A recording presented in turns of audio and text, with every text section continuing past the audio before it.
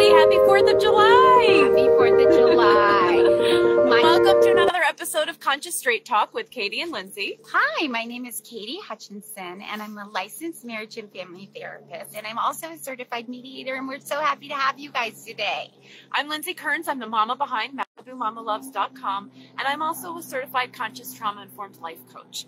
Did you guys know that we officially declared our freedom from Britain on July 2nd, not That's- July 4th, that's in crazy. 1776? That is right, though. On July 2nd, 1776, our Congress voted to approve a resolution declaring our independence. Independence. Yay, America. We celebrate July 4th because Mhm. that is the day the members of our Congress met and began signing the Declaration of Independence. Right. But the Declaration of Independence was not finished until August 2nd of 1776, which is interesting. But the date that they started signing was on July July 4th. July, well, July 2nd, but we said July No, no. 4th. Oh, July 4th is when we start. Yeah, okay, got it.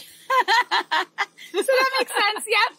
Hi. That's when what- we uh, celebrate. Now, I grew up in Rhode Island where we still have the actually oldest and longest running 4th of July parade. Uh-huh.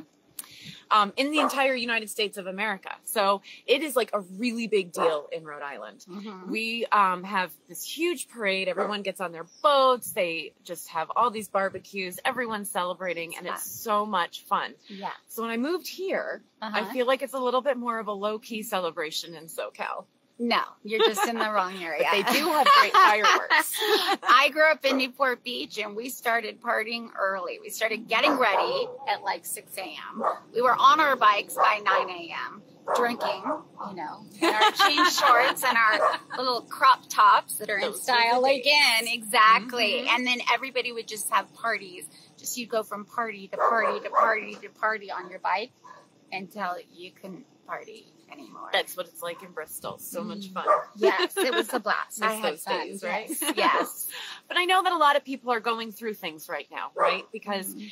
in these times that it's most important to spend some time appreciating what freedoms and rights we do have. It's true. You know, especially with Roe v. Wade and everything that's been going on, the Yep. war, Mhm. um, all these crazy things, you know. It's important to remember to take some time to really appreciate. And this midsummer holiday is a great opportunity to Mhm. spend some time appreciating your family, your Mhm. friends, and all of your blessings. It's true.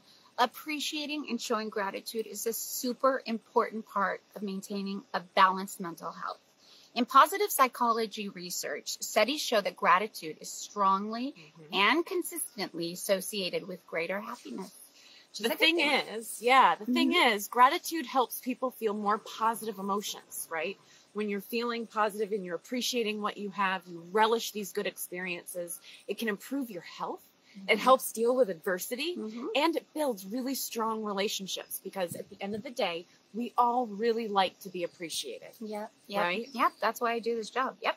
So today we wanted to remind you to spend some time appreciating your family. It's so important. You never know when you're going to lose your family, and it's so wonderful to have your family and your friends. So appreciate them. Appreciate Mhm. the food that you have. Appreciate the toilet that you have that has running water because that's a really nice gesture. I appreciate electricity, right?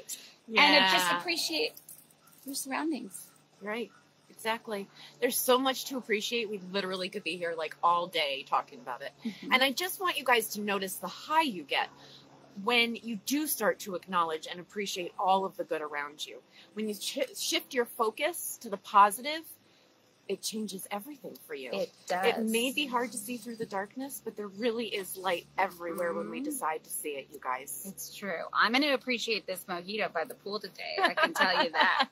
Are Cheers you? to that. Mhm. Happy 4th of July, everybody. Yes, but by the way, no drinking and driving. And buzz driving is dr- drunk driving, right? Yes. Yes.